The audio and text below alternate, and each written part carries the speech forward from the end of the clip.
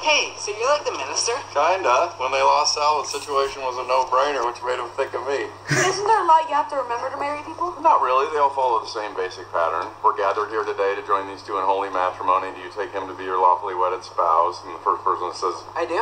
right. Then I ask the second person, do you take him to be your lawfully wedded spouse? You know the drill, right? I do. Then I say, by the power vested in me by the state of California, I now pronounce you legally wed. Bingo, bango, bongo, you're married. Awesome.